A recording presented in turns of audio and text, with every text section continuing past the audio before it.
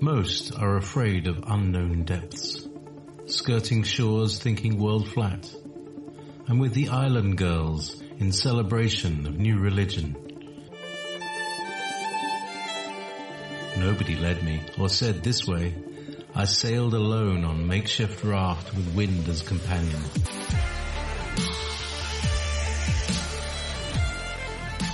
Fate for deliverance, confidence enough to assess new dispositions. Seekers of lost paradise may seem fools to those who never sought the other world.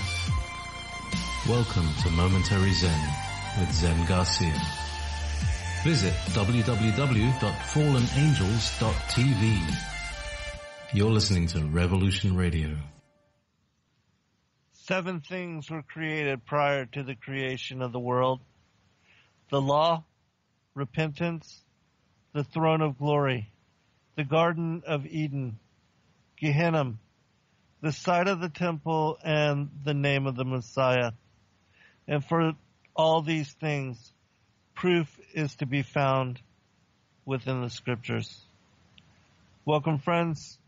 I'm your host Zen Garcia. This is Momentary Zen here on Revolution Radio at freedomslips.com. We broadcast every Wednesday evening, 8 to 10 p.m. Eastern on Studio B and I am streaming from near Athens, Georgia, here East Coast, United States of America. I thank all of you again for taking the time to join me this evening. It's always a pleasure to be able to come to you in this manner to share this platform as truth and also to be able to share in revelation those things which the Most High has led me to in discernment and with the hour being so late and in my opinion we are that generation which would see the fulfillment of all things that certainly things are moving at accelerated pace. And just looking back at for instance the blooming of the fig tree which those of you that are familiar with my work you know that I equate that to being the recreation of the nation state of Israel and that the that was a sign, a harbinger to Satan and Legion that their time is almost up.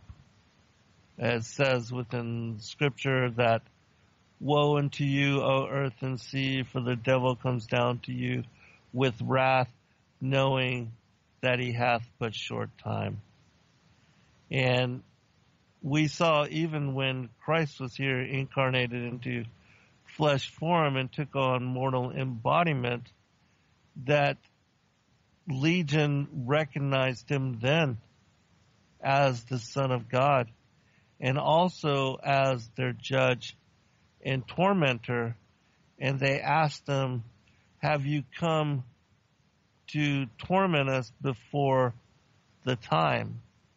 And so they know that there is a time where all their efforts, all their, the agenda for their focus and rebellion will come to an end and that everything they strove for will all be meaningless. And they also know that it will be Christ in second advent that returns for the harvest to separate the goat from the sheep and the wheat from the tares, the elect from the wicked, that it will be that defining moment that not only brings off the rapture or the protection of the church, but also the wrath of God being poured out on those not written into or included or those that were blotted out of the books of life. And so they know uh, much more than humanity because most are still in the dark and lost and wayward and led astray and there are few that are or have any concern for the end of days and for eternity. And so those that are the watchmen and the watchwomen on the wall that the children of day that watch for the signs and that know that summer is nigh. Sounding the alarm, blowing the trumpet and warning those that would hear, those that would listen of those things that are coming, they are largely considered insane by the majority opinion. And there is very few that can seemingly get it when message is shared. And so for me, it's a tremendous blessing to come together in fellowship with those of you that I know to be students of the word, seekers of truth, and that have dedicated yourselves in manner where you consider the things of the kingdom to be relevant and important and the reason largely for your being here in this time and in this place. And that kind of remembrance, that kind of knowledge is very rare in this day and age where so many people are caught up in delusion and swept away and being led to believe that the fallen ones are our gods and our creators and that they are coming to save us from ourselves. That they are the ancient aliens or the extraterrestrials which so many now believe created us in ancient times and then just left and abandoned this world to its own device. Um, you know, they say that Christians believe in fairy tales. That's kind of funny.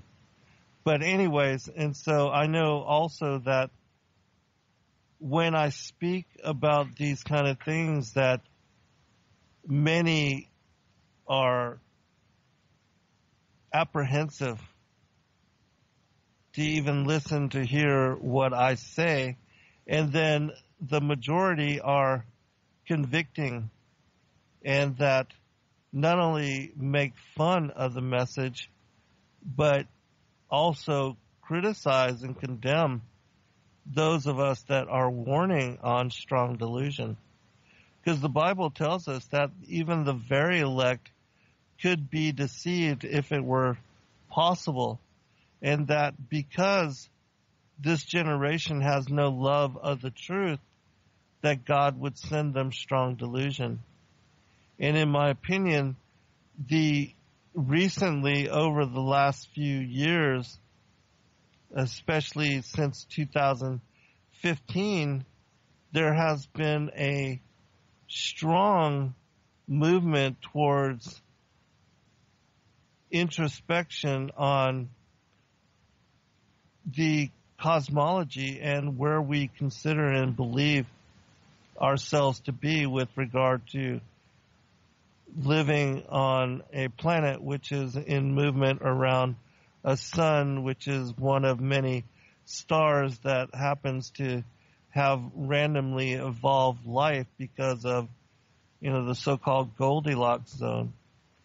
And that everybody believes that all the stars in the sky are all galaxies and suns with individual planetary systems around them, and that the universe is infinite, and that we're nothing special that everything is just um, part of a, a grander whole, even though that is true, but yet we truly, when you come to understand the truth of where we are and what's going on, we are the focus of the Most High's attention and that everything was created for us being that we are the creature that was made in the image of the Most High God, male and female, created He them. And so this evening I want to talk about a little bit about the establishment of the creation as well as who established and who created and who brought forth uh, the heavens and the earth as stated by scripture. Because there is a movement now to teach and to guide those that are seeking into an answer that declares that Satan and the fallen angels or the extraterrestrials, the Nephilim, the Anunnaki, whatever you want to call them, that they somehow created this world. And it's interesting to me because, you know, I spent 20 years studying New Age philosophy and examining uh, Sumerian mythology. Also, I need to say for those that are listening in in the chat room that uh, my computer about a week and a half ago um, something happened and I'm now having to utilize a whole new setup, and so a lot of things are not uh, fixed and so trying to get into the chat room this evening, something was not right. It kept giving me a script where it wouldn't let me type. And it also, you know, basically cast me out of the chat room. And so for that reason, I'm not able to be there um, and to be able to, you know, field your questions, your inquiries. And so I would recommend that people go to our Discord group, which is Sacred Word Publishing. Uh, you can search for it on Discord and join the conversation there. And I will be at some point logging in there. I just have not had chance to do that yet. But uh, I did want to specifically address this whole concept that's being taught by a lot of people that you know, Satan created humanity and also um, the the earth and the heavens as we have come to experience and know it. Whether that's you know the matrix of uh, the matrix which is parading as reality and the system that we live in, whether materialistic or physical, this third dimensional reality, that in my opinion, Satan does not have that kind of power, that kind of authority, and he cannot imbue life. And that one of the things that in the scriptures it speaks about at the end of days, that one of the signs that the Antichrist is not the Christ is that he will not be able to resurrect the dead or to give life or to create from nothing. He does not have the power to manifest from nothingness. Only God, the Father, the Son, and the Holy Spirit have the power of instant manifestation and from nothingness to form something of nothing and to give life to something that is inanimate. And to think otherwise is really to believe that Satan is God when he is not. And that's one of the reasons why he wanted to exalt himself above the stars and the clouds of God and to divert worship and to trick everybody into believing that he has the powers of the Most High and that he is God when he is not. But as I said, there is a a movement to where people believe and you know very wise and intelligent people that I have great respect for um they are accepting this line of thought and also teaching it. And so this evening I'm going to review some passages and also show scripturally how without a doubt, which it's strange for me to even have to go here, but you know, to affirm that the creation was established by God, that seems like common sense, and yet it's not. And that for whatever reason, in this day and age, so many have accepted opinion that is contrary to what seems, you know, common, common sense. I mean, even if you're not familiar with scripture and the Genesis timeline, um, it would it would seem to me that you would know that God created all things and is the source for all things. And this also includes the Holy Spirit being the feminine aspect of the Godhead and how female and the duplicity that we see in the creation that it is a reflection of source. And that we see in Romans actually let me pull it up that within in the scripture in Romans it tells us that the creation reflects the Godhead. In Romans chapter 1 verse 20 it says, For the invisible things of him from the creation of the world are clearly seen being understood by the things that are made. Even his eternal power and Godhead so that they are without excuse. And then if you continue reading on, you see that Paul makes reference to uh, how they took and changed uh, understanding of the Godhead from being one of male and female to that being only homosexual or being only male which to me, you know, kind of shows um, how perverted things would get in this day and age to where people would remove the female from being an aspect of the Godhead.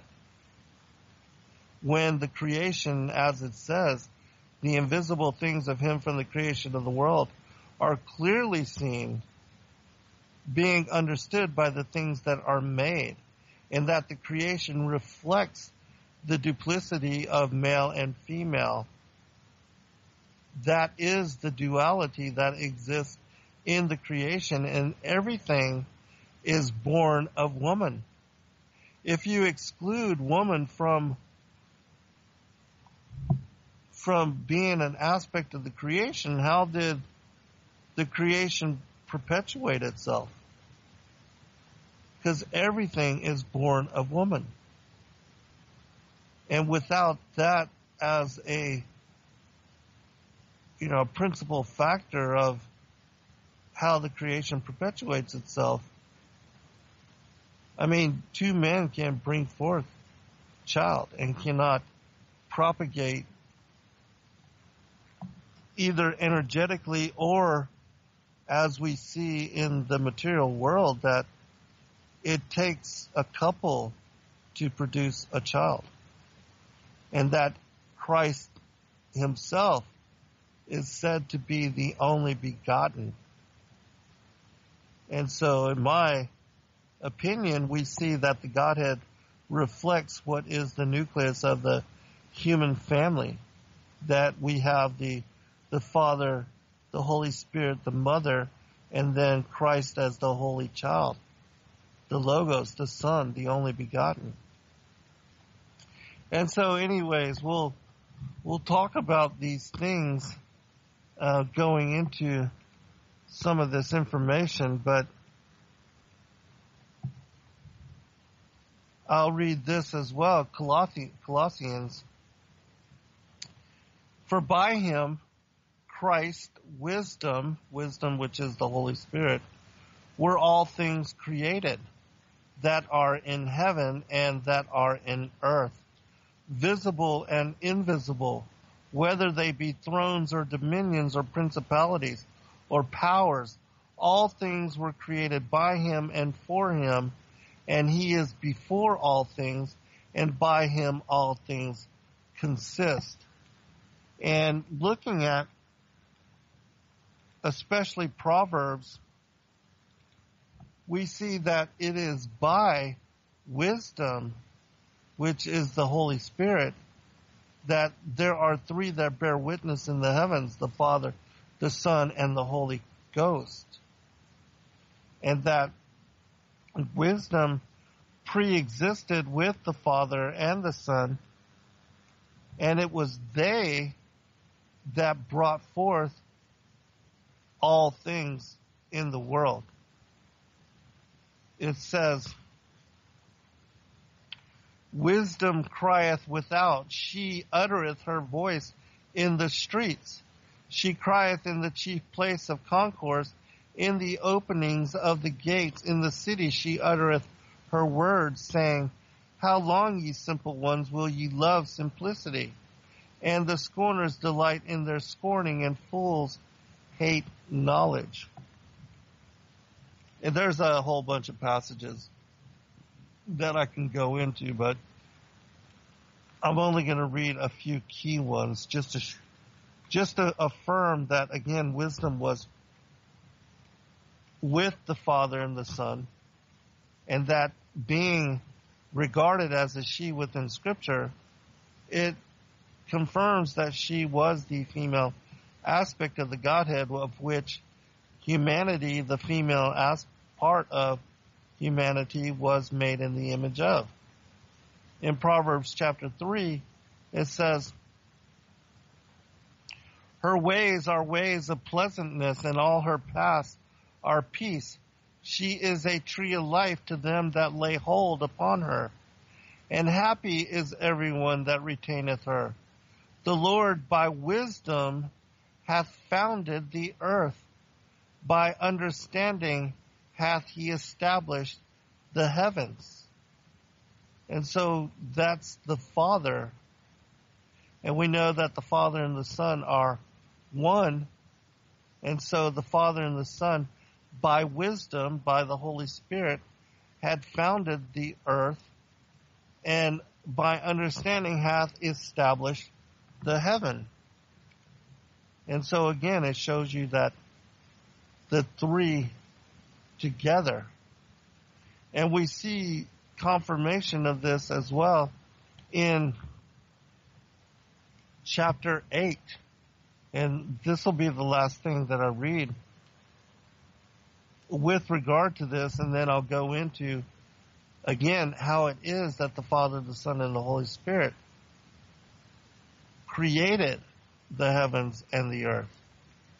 Not Satan, not Legion, not the angels, but the Holy Trinity. They are the only ones with the power to create and to manifest from nothing. And so,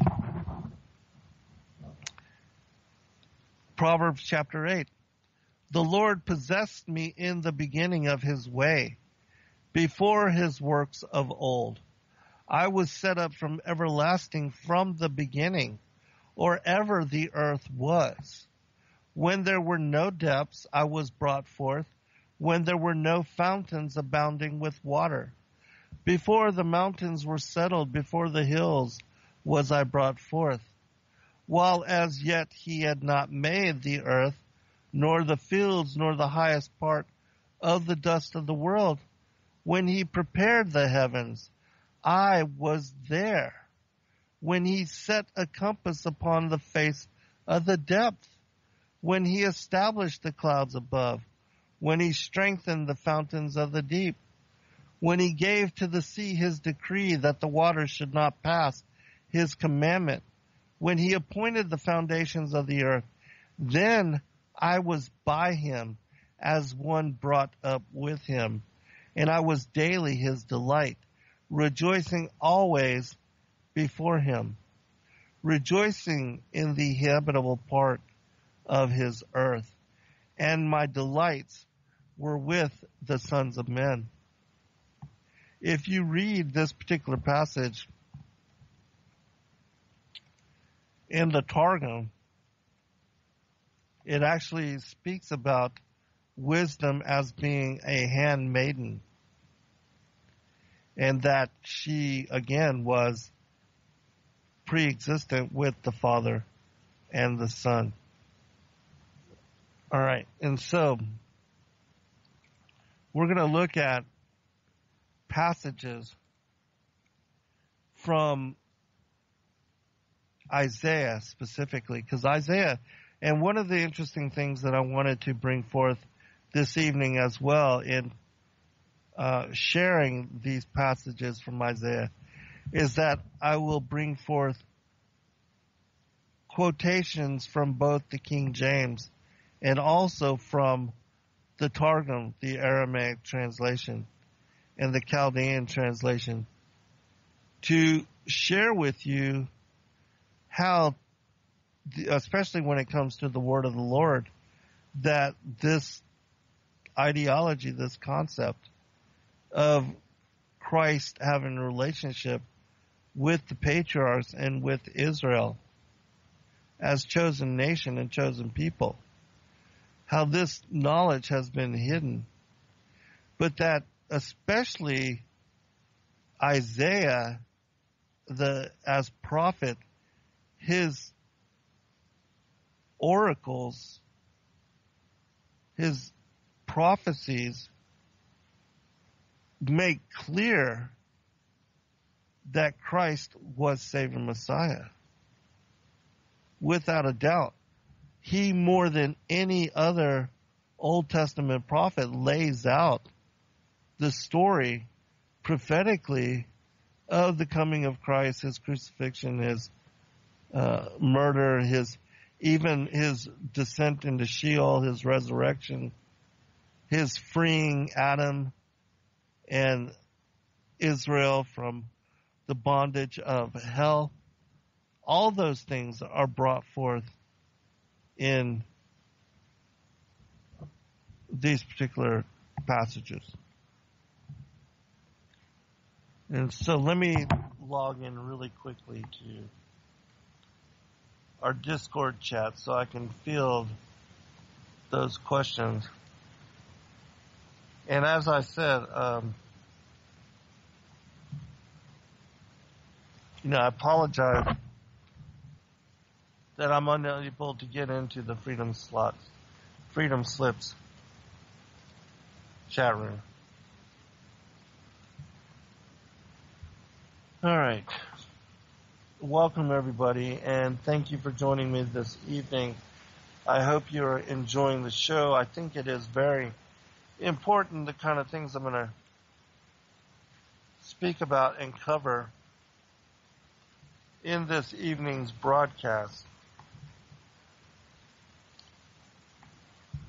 And so I'm going to start reading from the Targum um, um, from Isaiah, but I want to begin with a passage from Ezra chapter 6 the fourth book of Ezra. Because, and this is one of my most favorite uh, chapters, the first six verses of for Ezra or second Esdras. It says this. And he said unto me in the beginning, when the earth was made, before the borders of the world stood, or ever the winds blew, before it thundered and lightened, or ever the foundations of paradise were laid, before the fair flowers were seen, or ever the movable powers were established, before the innumerable multitude of angels were gathered together, or ever the heights of the air were lifted up, before the measures of the firmament were named, or ever the chimneys in Sion were hot, and ere the present years were sought out, and or ever the invention of them that now sin were turned, before they were sealed that have gathered faith for a treasure. Then did I consider these things, and they all were made through me alone, and through none other. By me also they shall be ended, and by none other. And so God is telling you right there, just as, you know, wisdom in Proverbs chapter 8, how she speaks about before the creation, before the foundations of the earth were established, that she was with the Father and the Son. Here, God tells you that He alone, with the Holy Spirit and with the Son, that they were the ones that established the heavens and the earth. Not Satan, not, you know, the fallen angels, not anybody else, but they alone. And it would be them that ends it. They brought it forth. They established the second world age and they will also bring forth judgment and destroy the current heaven and earth. Because it tells us in scripture that there will be a new heaven and a new earth at the end of this age. And that this current age, as it says in second Peter, would be destroyed by fervent heat. That the stars crashing to the earth would set it ablaze to such degree that the earth becomes renewed. And so, let us go into Isaiah. And the other interesting thing about what I'm going to cover in Isaiah, and I, I probably should just read from the Targum version just in case we run out of time. I think I'll, I'll do that. So you can follow along with your King James, but I'll read the Targum version and then I'll point out a few key differences. But you'll see as you follow along, you know, where those differences lie and how it is clear within the Targum as to when we're speaking about the end of days, because much of Isaiah is prophetic. I mean, so much of Isaiah is prophetic. And it shows without a doubt that the Father, the Son, and the Holy Spirit were the ones that created the heavens and the earth and also established humanity. You know, that it wasn't the the, even though, yes, I do agree that the fallen angels tried to create a slave race of the pre-Adamites that were here upon the earth, but they did not create them. Even in the Sumerian texts, it speaks about how there was this Bigfoot type of creature that was a, a hominid already present when they were cast out of the heavens and they arrived here and how they did these genetic experimentations. And also that they engaged in direct bestiality with these particular creatures in order to uh, in order to attempt to evolve them in such manner that they could become slave slaves unto them that they could serve in menial labor and so yeah absolutely that I, I believe that it was their attempt to enslave the pre-Adamites and to indoctrinate them into abomination, child and blood sacrifice, cannibalism, things of that nature, that God made modern Adam and our current ancestors in his own image. And that it would be through this new creature that Christ would incarnate into the world in order to redeem us and to rectify the fall, but that condemnation to the devil and his children would also be wrought and perpetuated. Because when we arrived, you know, they, humanity, modern humanity, became the focus of their attempts to bring us under their authority and to lead astray humanity so that none of the sons of Adam would inherit the ordinances which they abandoned in the heavens. And so we will look at that. All right, I'm going to be reading from chapter 28, verses 5 through 29. Actually, I'm going to start from verse 1 because, you know, it talks about Satan in this early. It says, Woe that he gave a crown to the proud and foolish prince of Israel, and that he gave a diadem to the wicked of the house of the sanctuary of his praise. They who are at the head of the valley of fatness are smitten with wine. Now these are the fallen angels, the rebel ones. Lucifer. Behold, plagues strong and mighty are coming from the Lord, like a storm of hail, like a whirlwind, like a storm of mighty waters. Overflowing thus the nations shall come upon them and shall lead them into captivity to another land on account of the sins which are in their hands. The crown of the pride of the foolish prince of Israel shall be trodden down with feet, and the diadem which he gave to the wicked of the house of the sanctuary of his praise, which is on the head of the valley of fatness, shall be as the first ripe fig before the summer, which when one sees it, no sooner is it in the hand than one devours it. At that time, the Messiah of the Lord of hosts shall be for a crown of rejoicing and for a crown of praise to the remnant of his people.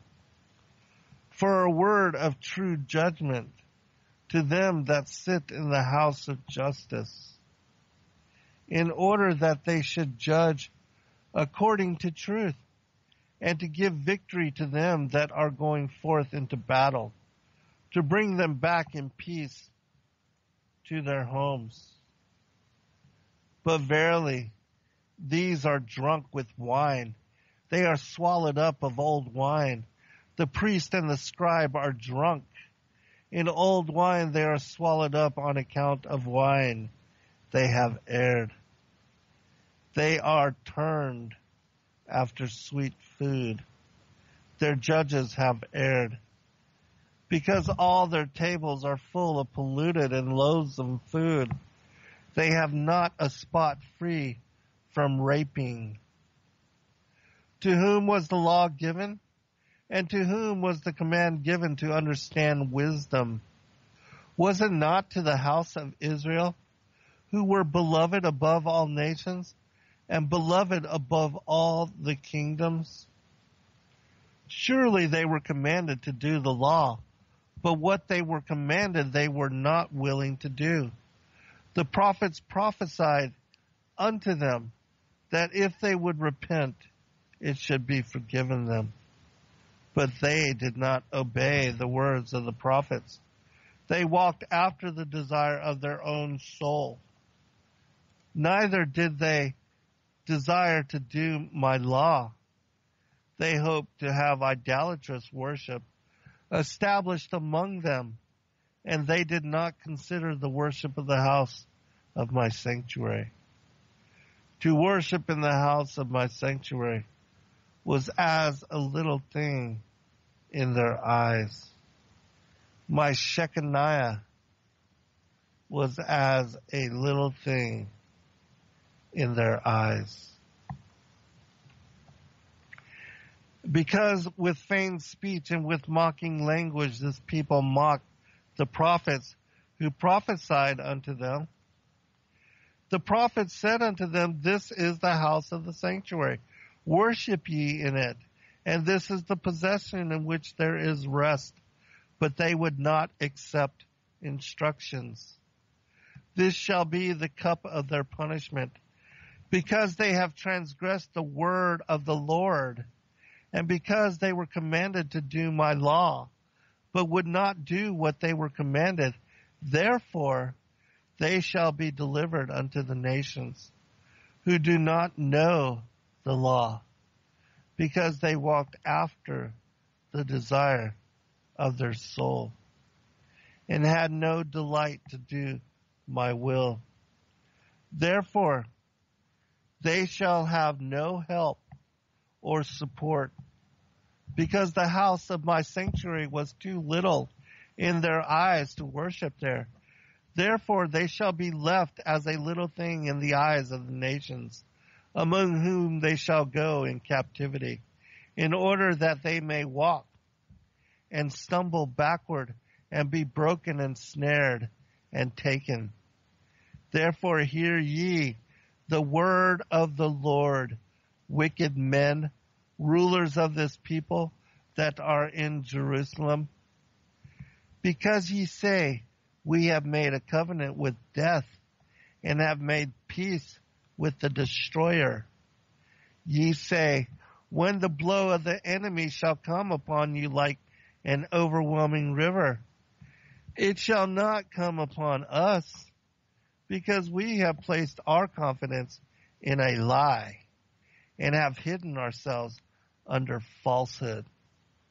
Therefore, thus saith the Lord God, Behold, I appoint a king in Zion, a king mighty, powerful, and terrible. I will make him powerful and I will strengthen him, saith the prophet. But the righteous who believe these things shall not be moved when distress shall come. And I will make judgment straight as a line of a building and justice as plummet because you would hide yourselves, and my justice shall burn against the confidence of your lie.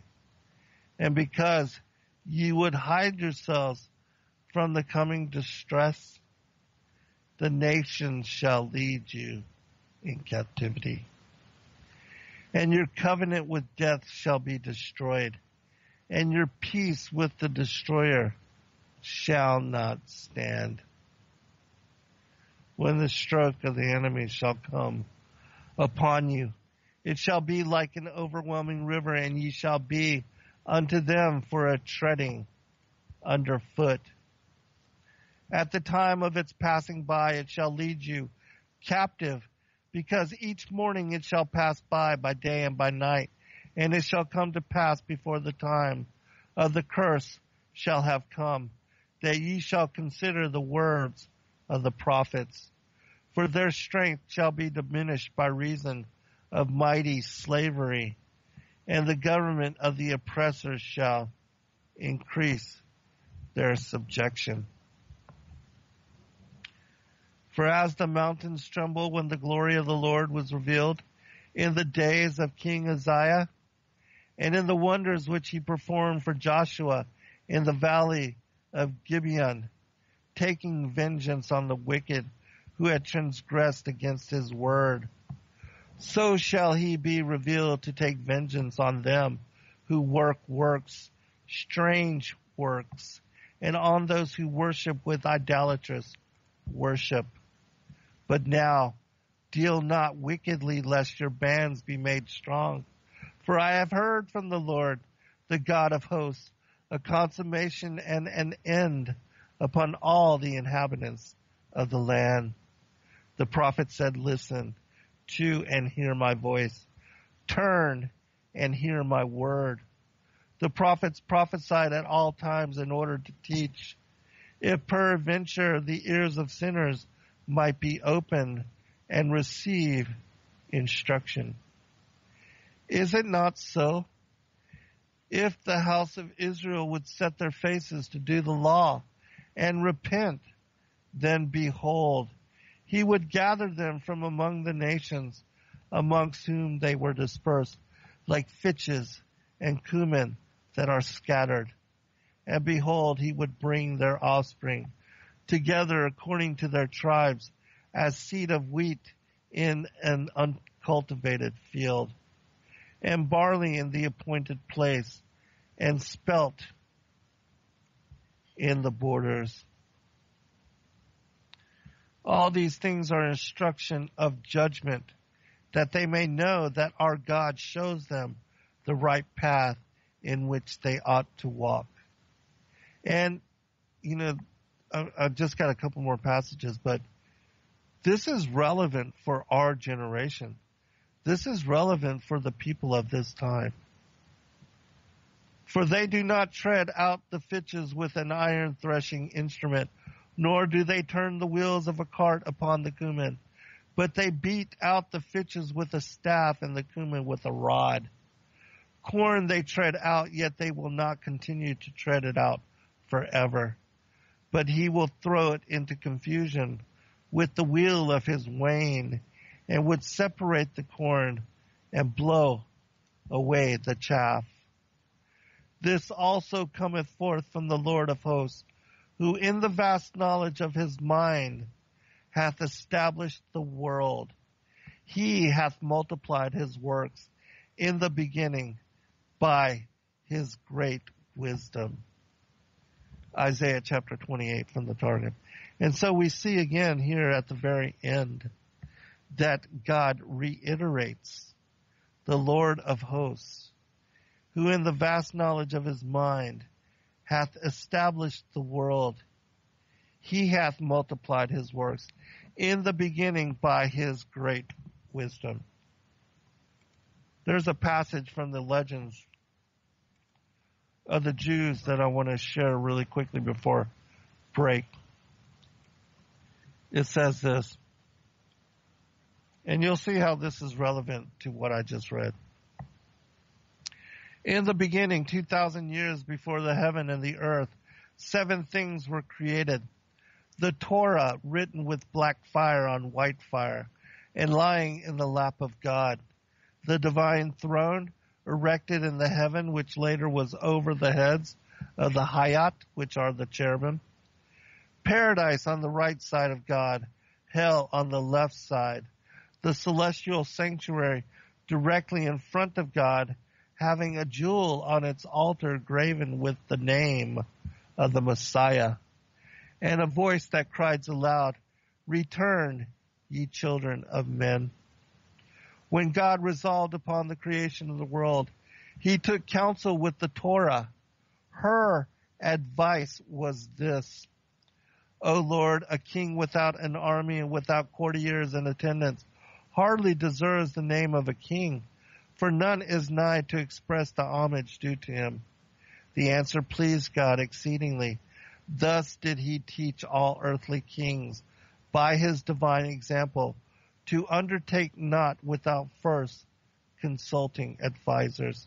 All right, um, I'll pick it up when we return. There's one last portion that I want to share, and it connects again to that passage that I just read about God establishing the heavens and the earth by his wisdom, which is the Holy Spirit. All right, we'll be right back for second hour.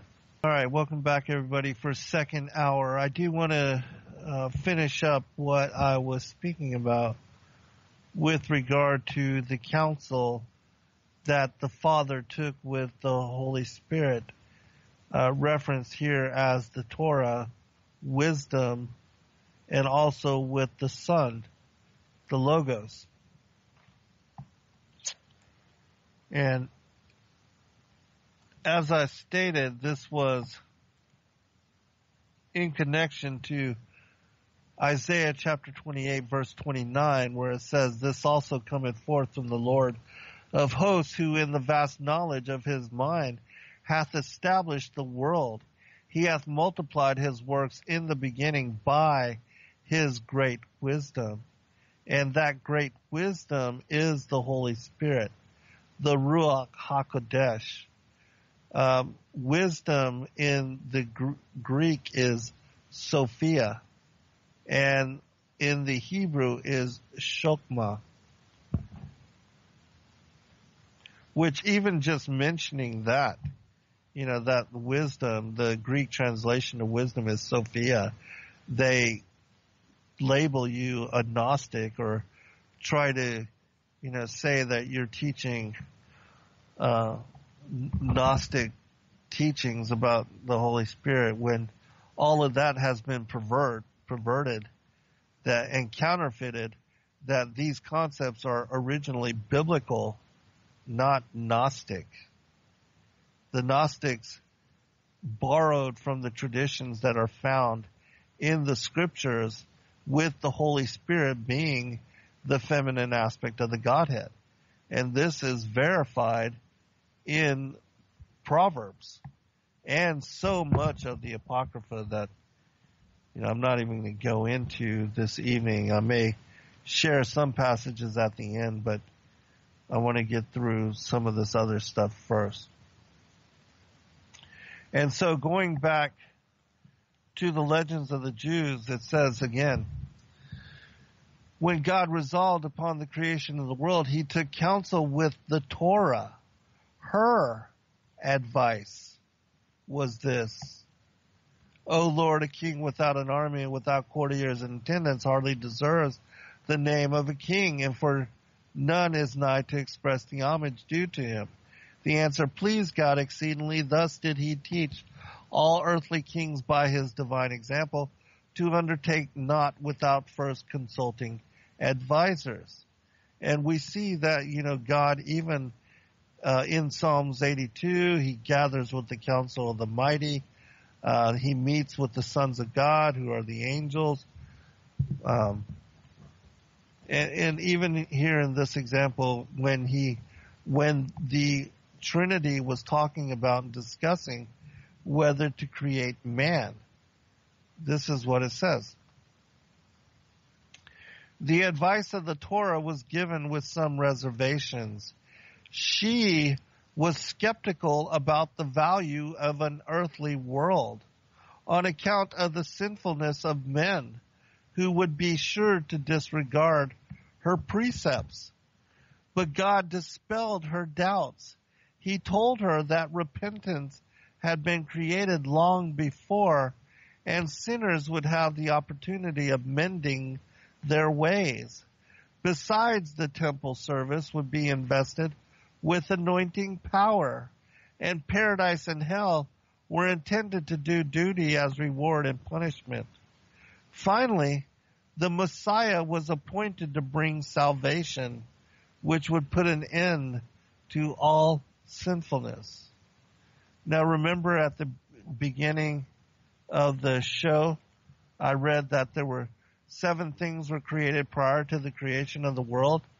The law, repentance, the throne of glory, the Garden of Eden, Gehenna, the site of the temple, and the name of the Messiah. And for all these things, proof is to be found in the scriptures. That was from the Chronicles of Jeremiah on the beginning of creation. And so, you know, the plan of salvation was established even before the creation of the earth and even before uh, man was created to then be tempted and fall. And notice again that in advising with the Torah, wisdom, the Holy Spirit, it is referenced, she is referenced as being a her. Continuing.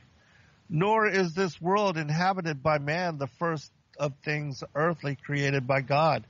He made several worlds before ours, but he destroyed them all because he was pleased with none until he created ours. But even this last world would have had no permanence if God had executed his original plan of ruling it according to the principle of strict justice. It was only when he saw that justice by itself would undermine the world that he associated mercy with justice and made them to rule jointly.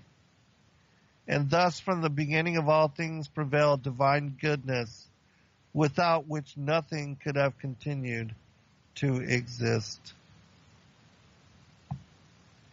All right, so that, you know, the story then goes into how the creation was established. And so even this particular story shows how the earth, when it became without form and void, that previous earth age and the previous world had been destroyed. And that what we see in Genesis chapter 1 verses 5 and onward is the recreation, the reestablishment and the reformation of the earth. That it had originally been created to be inhabited and it had originally been created to be inhabited by God. Not by Satan, not by the extraterrestrials, not by the fallen ones, but by the Holy Trinity. Just as is revealed within all these scriptures that I'm reading from. Alright, so let's continue.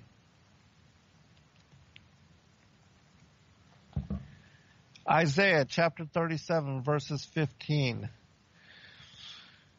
And this is uh, the Targum version, which is uh, maybe slightly different from the King James. It says this.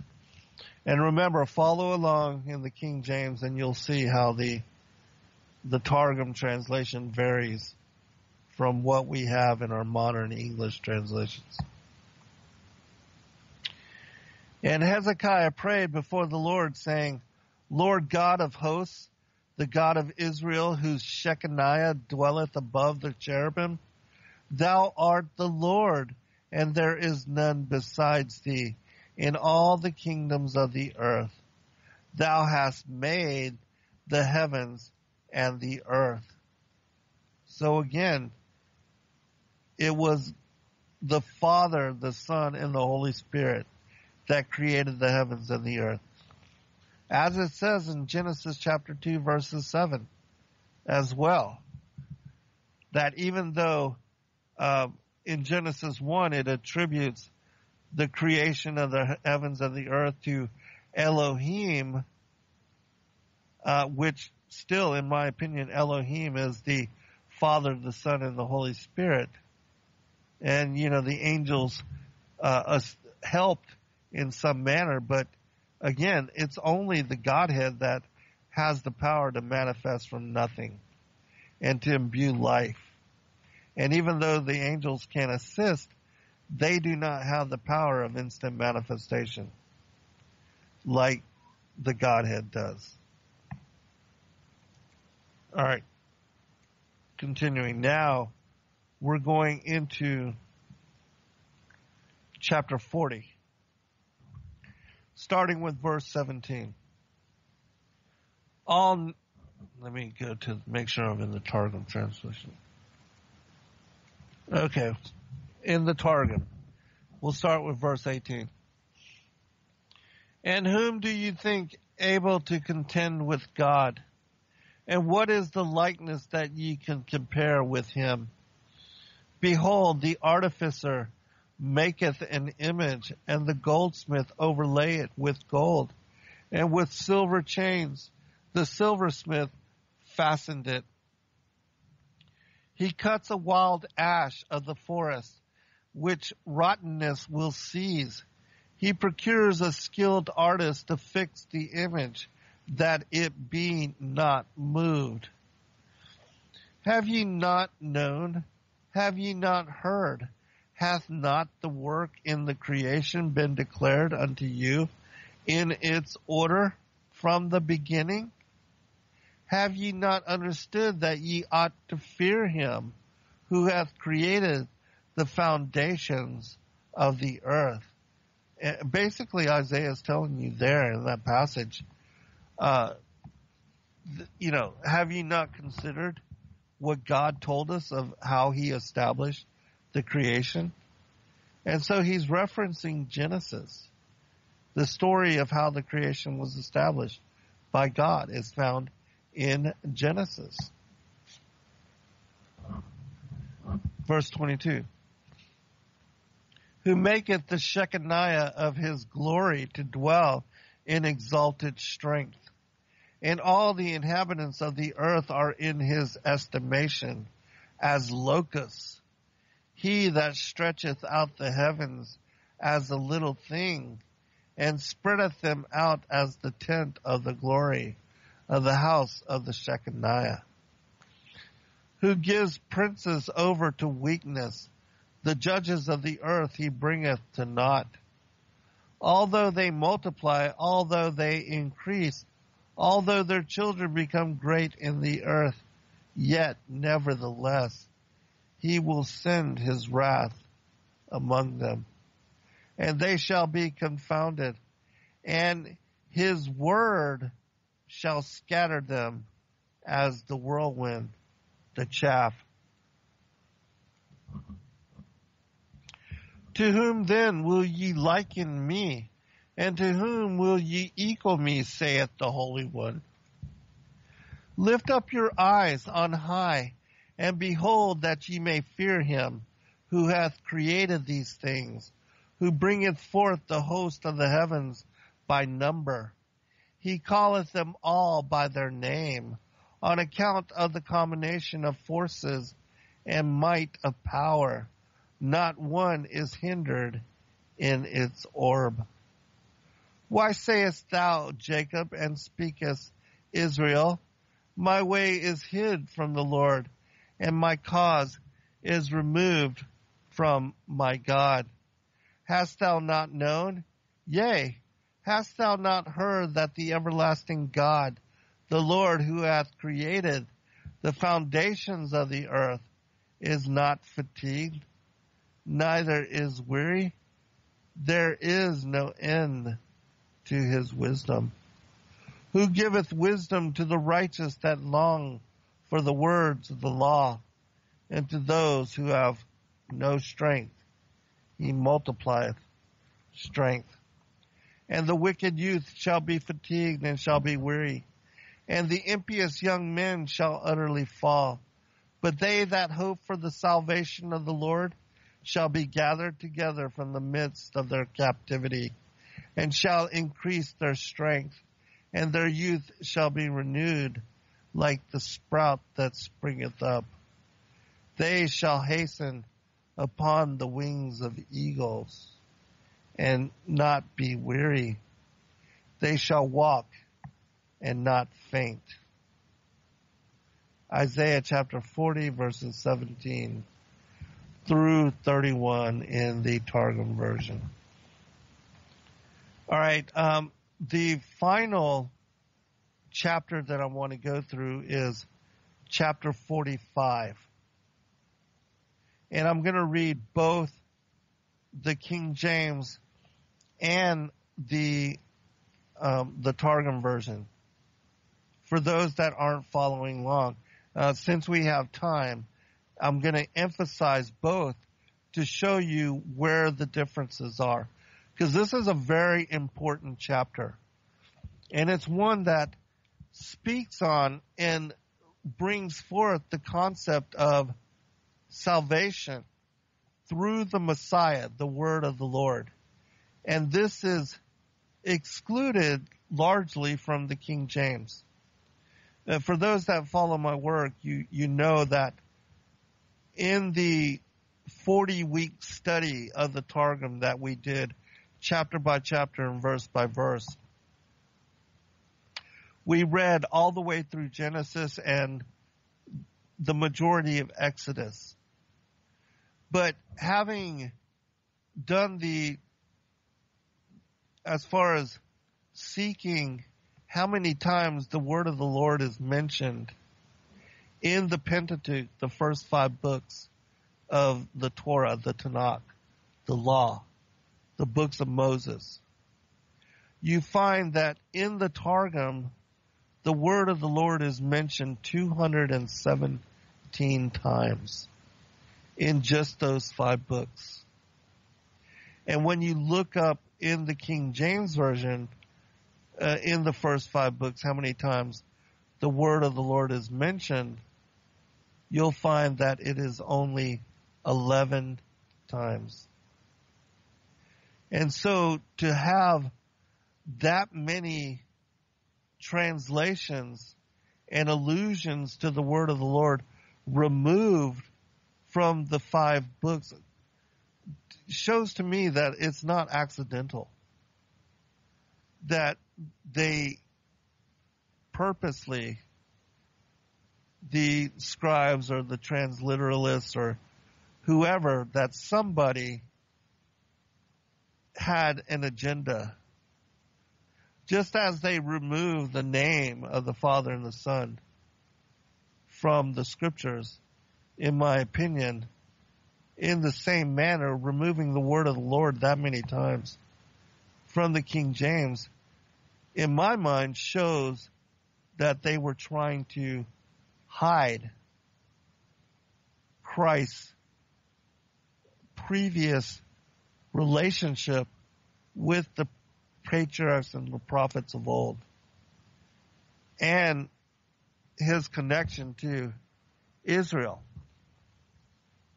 That when you read the Targum, you see that it was the word of the Lord even that banished Adam from paradise and that had gone to Abraham and Isaac and Jacob that he was their helper and they all believed upon him and knew that salvation came through him.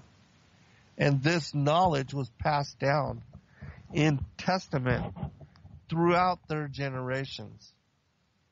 And you can find confirmation of this in the two book set that I recently released called The Testament of the Patriarchs and the Prophets, which shows all of those extra biblical texts which verify and confirm that knowledge of Christ as Savior Messiah was passed down from Adam all through his generations, Seth and Enoch, Noah, uh, Shem, Abraham, Isaac, Jacob, the 12 tribes, and on and on and on. To David, uh, to Solomon, and onwards. That knowledge of his being Savior and Messiah was preserved within their testaments. And I compiled all of this also in one of my latest books called The Ancient Prophecies of Christ, which you can find. I took all of these specific allusions to his coming first and second advent and separated them from all of the other passages and made, you know, put, put them all together in compilation within that one book. And reading it, you, you know, it's undeniable that uh, Israel, that Adam and his sons that they worshiped a triune Godhead, which included the Holy Spirit as the feminine aspect of it. All right, continuing. Verse 5, we'll begin there. Chapter 45 of Isaiah. I am the Lord and there is none else. There is no God beside me. I girded thee, though thou hast not known me, that they may know from the rising of the sun and from the west that there is none beside me. I am the Lord and there is none else. I form the light and create darkness. I make peace and create evil. I, the Lord, do all these things. Now, this isn't very important because a lot of people, especially agnostics and atheists, they allude to this passage and show that God creates evil. But that's not what it says in the Targum. That this has been misinterpreted, and in my opinion, it, um, for whatever reason, whoever translated this, they left the whole idea that God is responsible for evil when he is not. He is righteous and he um, gives free will to the angels and humanity, and we create evil, perverting the good. And so let's look at the translation of this verse in the Targum, and I think you're going to be mind blown. It says here, I am the Lord and none else. Also, I want to say that before I go into this, that in the first four verses, if you read this, he is speaking to Cyrus and he mentions Cyrus in name. And it was this, this passage in Isaiah written hundred years of years in advance of Cyrus even being born that was shown to him and convinced him that God was going to establish him as a ruler and that he would then uh, reestablish uh, Israel and give them the money to rebuild the temple. And all that passed and, and was fulfilled prophetically, which again is another way that shows that, you know, God is the author of the scriptures and that they were divinely inspired. And, you know, um, I believe it was David that showed that to Cyrus and that understanding and seeing that, uh, he knew what he had to do. Or maybe it was Ezra or Nehemiah. David, Ezra, Nehemiah, and Jeremiah, they were the ones, and Baruch, he was the scribe. They were the ones that were alive during the diaspora when Nebuchadnezzar took them exile. All right, so anyways, let's go back to this passage. I am the Lord and none else. There is no God beside me. I have supported thee, though thou hast not known that thou shouldst fear me, that they may know from the rising of the sun and from the west. I am the Lord and there is none else, who prepares the light and creates the darkness, makes peace and creates punishment for evil. I, the Lord, do all these things. And so you, do you see how much of a difference that makes when you read it in the Targum? God doesn't create evil. He creates punishment for evil which absolutely makes sense when you consider that God is righteous. And so, another one of the reasons why I recommend people study the Targum and read it in the Aramaic, the, in the language that was first translated from the Hebrew Torah. Cause Targum just means translation. And the Aramaic is the translation of the Hebrew Torah uh, that preceded even the Greek Septuagint. And it's the first authorized translation. And it was the Hebrew people, the Jews, uh, and, you know, the Israelites that utilized the Aramaic Targum for study when they recreated the, um, the, the Holy Temple after the diaspora. When they began worship again, they, the, the rabbis, the priests, they kept having to stop worship to translate the text from Hebrew into Aramaic. And so they just authorized the, the Targum. And now we have the English translation of the Aramaic Targum available to us. It was translated in 1862. And uh, it's quite a fascinating text. One of my most favorite when it comes to the study of Scripture. All right, continuing. Drop down, ye heavens, from above, and let the skies pour down righteousness. Let the earth open, and let them bring forth salvation. And let righteousness spring up together. I, the Lord, have created it. Woe unto him that striveth with his maker. Let the potsherds strive with the potsherds of the earth. Shall the clay say to him that fashioneth it, here again it makes mention that God created humanity. And, you know, and even the pre-Adamites that were created upon the earth and to multiply upon the earth, which he makes mention of that, uh, in, in a little bit. But it says that God created them, not Satan, not the fallen ones. What makest thou or thy work he hath no hands? Woe unto him that saith unto his father, What begettest thou? Or to the woman, What hast thou brought forth? Thus saith the Lord, the Holy One of Israel, and his Maker. Ask me of things to come concerning my sons, and concerning the works of my hands. Command ye me. I have made the earth and created man upon it. See, now this is specific to the pre-Adamites because they were the ones that were created on the earth and told to multiply and replenish the earth. Adam was made, even though his uh, body was made from the dust of the ground, the Holy Spirit was blown into him to give him life.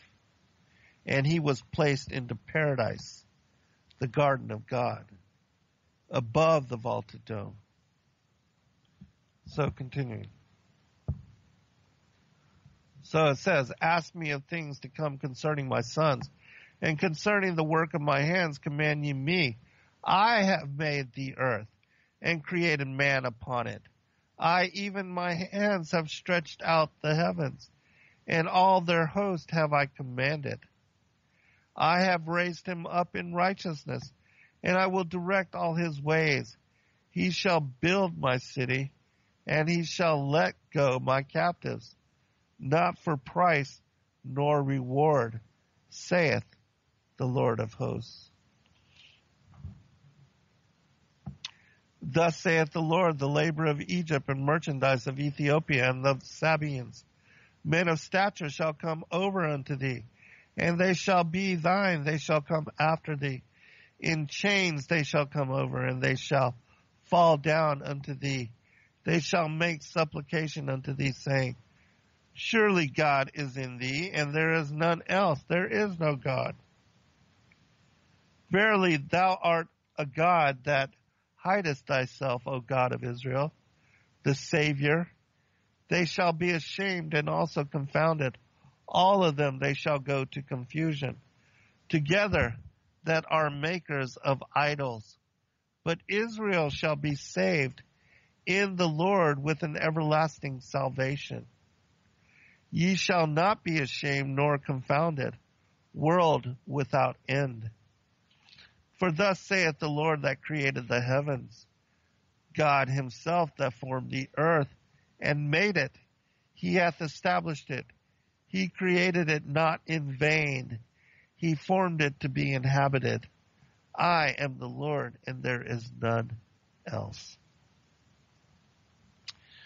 You know, if people would read the scriptures, they, there'd be no denying that God created the heavens and the earth.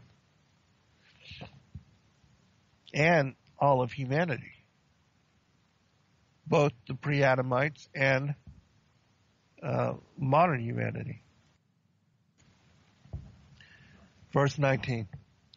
I have not spoken in secret in a dark place of the earth. I said not unto the seed of Jacob, seek ye me in vain. I, the Lord, speak righteousness. I declare things that are right. Assemble yourselves and come, draw near together, ye that are escaped of the nations.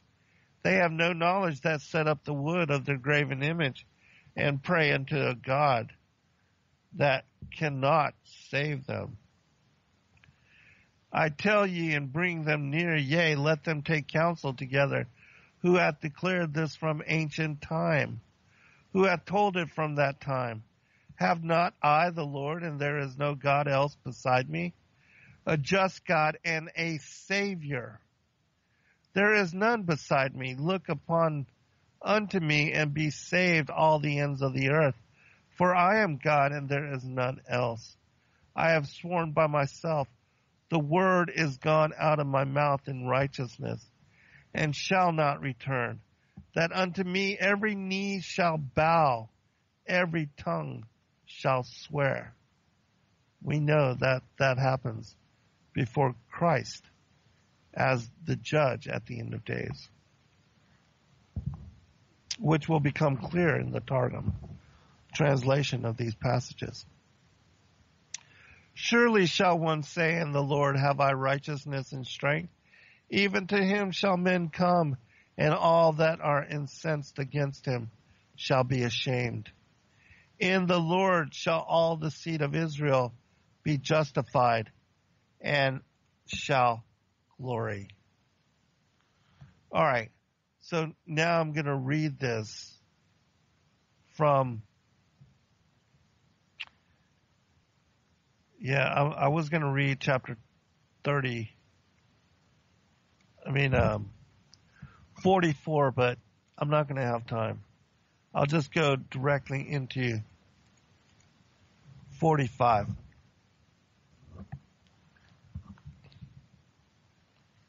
Okay, follow along in the King James. And I'm going to start with the prophecies of Cyrus here. I should have time to read all of this. Thus saith the Lord who is anointed to Cyrus, whom I hold firm by his right hand, to deliver the nations unto him. And I will loose the loins of the kings to open the doors before him, and the gates shall not be shut. My word shall go before thee. I will have a way in the plains. If I will break in pieces the doors of brass and cut in sunder the bars of iron, which that's a fulfillment of prophecy when Christ went down into Sheol. Because those are the doors of brass and the bars of iron he's talking about. All right, I'm going to skip just a little bit.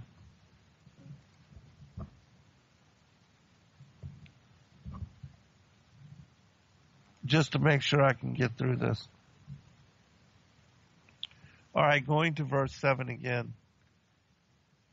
Who prepares the light and creates darkness, makes peace and creates punishment for evil. I, the Lord, do all these things. Let the heavens drop down from above, and the clouds flow with good. Let the earth open itself and the dead live, and let righteousness be revealed. Together, I, the Lord, have created them. Woe to him who thinks of striving against the words of his creator and trust that the images of a potter shall do him good, which are made out of the dust of the earth. Is it possible that the clay could say to him that worketh it, Thou hast not made me? Or thy work he hath no hands? Woe to him that saith to his father, What begettest thou? And to his mother, What hast thou brought forth?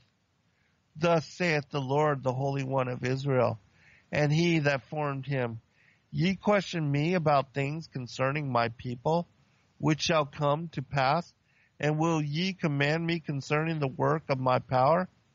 It is I who have made the earth by my word, and I have created man upon it. It is I who have suspended the heavens by my power, and I have laid the foundation of all the hosts of them. It is I who will verily bring him forth publicly, and all his paths I will direct. He shall build my city, and he shall let the captives of my people go, not for a price, nor for money, saith the Lord of hosts. Thus saith the Lord, the wealth of Egypt and the merchandise of Ethiopia, and of the men of the Sabaeans, the men of traffic, shall come unto thee, and thine they shall be. They shall walk according to thy command. They shall pass along in chains. And they shall bow down unto thee, and shall supplicate thee, saying, Verily, God is in thee, and there is no God whatever besides him. Verily, thou art he who dost make thy Shekinah to dwell in the highest heaven, God of Israel, the Savior. They shall be ashamed and confounded. All of them, the worshippers of images, shall walk in confusion. Israel shall be saved by the word of the Lord with an everlasting salvation. Ye shall not be ashamed nor confounded forever. Yea, for ages after ages. For thus saith the Lord that created the heavens. He who laid the foundation of the earth and made it is God. He formed it. He created it not in vain, but he formed it that the sons of man should multiply upon it. I am the Lord, and there is none else. I have not spoken in secret. In a dark place of the earth, I said not unto the seed of the house of Jacob, Seek me reverently in vain. I, the Lord, speak the truth, declaring upright things. Assemble yourselves and come. Draw near together, ye that are escaped of the nations. They know nothing that carry about their wooden images and who pray unto a God who shall not save. Tell ye and draw ye near, yea, take counsel together, who hath declared this from ancient time, who hath told it from that time. Have not I the Lord? And there is no God whatever besides me, a just God and a Savior. There is none but I. turn unto my word, and be ye saved, all that are at the ends of the earth. For I am the Lord, and there is none else. I have sworn by my word, the word is gone forth in righteousness from my presence, and shall not fail. That before me every knee shall bow, every tongue shall swear. Surely he has promised to bring me righteousness and strength by the word of the Lord. In his word they shall offer praise. And all the nations that are incensed against his people shall be ashamed. In the word of the Lord, all the seed of Israel shall be justified and glorified. And so you see, um, especially in these last few verses, how uh, again, like for instance in verse 24 and 25, it says, Surely shall one say, In the Lord have I righteousness and strength. Even to him shall men come, and all that are incensed against him shall be ashamed.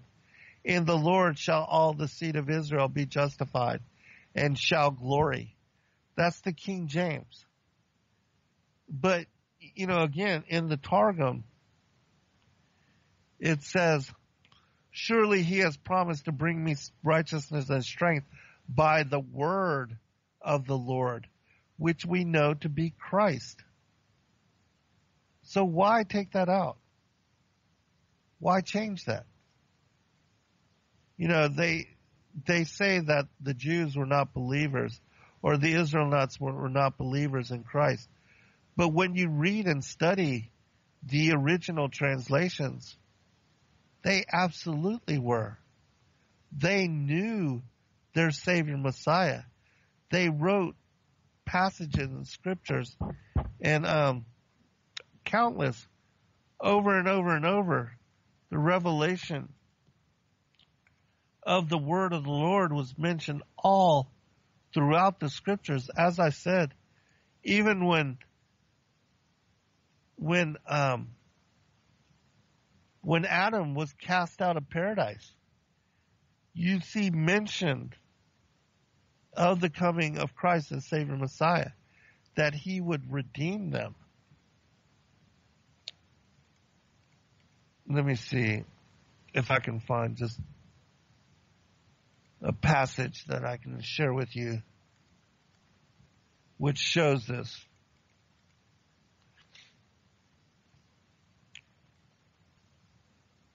Okay, I think. Uh, all right. For instance, here, this is from one of the primary Adamic literature. It says, and this is from the ancient prophecies of Christ. God said to Adam, I have ordained on this earth days and years, and you and your descendants shall live and walk in them until the day and years are fulfilled when I shall send the word that created you and against which you have transgressed, the word that made you come out of the garden and that raised you when you were fallen. Yes, the word that will again save you when the five and a half days are fulfilled. But when Adam heard these words from God and of the great five and a half days, he did not understand the meaning of them. For Adam was thinking there would only be five and a half days for him until the end of the world. And Adam cried and prayed to God to explain it to him. Then God in his mercy for Adam who was made after his own image and likeness explained to him that these were and years and how one would then come and save him and his descendants. I'll share this from the Testament of Adam. It shows just how knowledgeable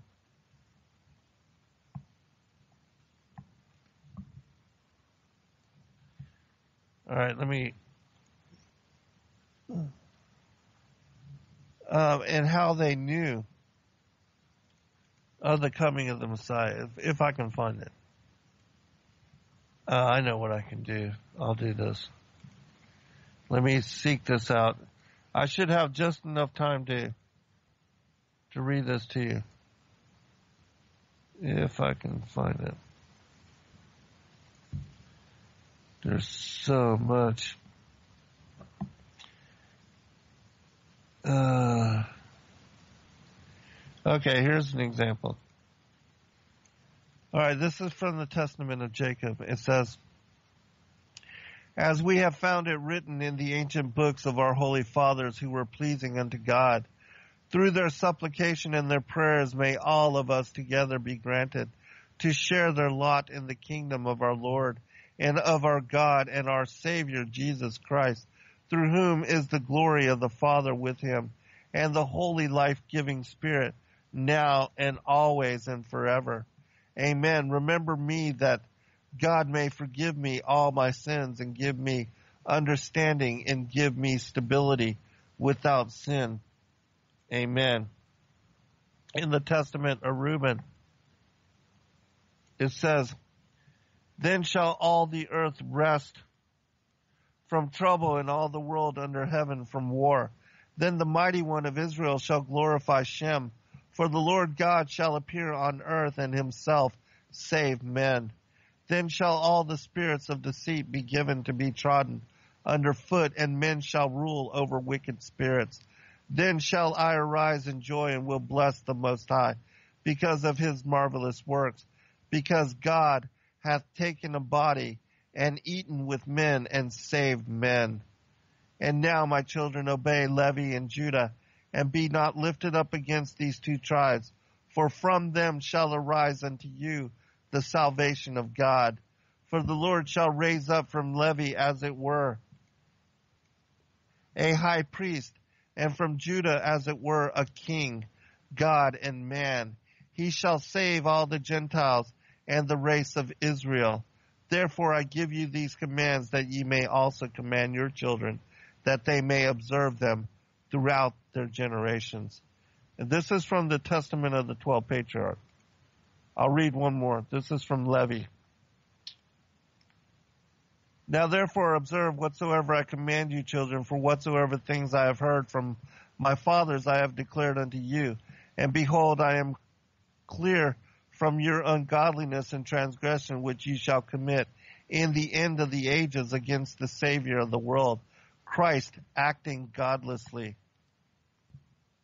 But the veil of the temple shall be rent so as not to cover your shame, and ye shall be scattered as captives among the Gentiles, and shall be for a reproach and for a curse there. For the house which the Lord shall choose shall be called Jerusalem, as it is contained in the book of Enoch the righteous. Um, another prophecy here. Who shall lay their hands upon the Savior of the world? There's so much that confirms you know, Christ as in the coming of Messiah. It says in the testimony of Judah, until the salvation of Israel shall come, until the appearing of the God of righteousness. And after these things shall a star to you from Jacob in peace, and a man shall arise from my seed like the Sun of righteousness, walking with the sons of men in meekness and righteousness, and no sin shall be found in him. And the heavens shall be opened unto him to pour out the Spirit, even the blessings of the Holy Father. All right, I'm going to have to leave it there. God bless all. Good night. Shalom.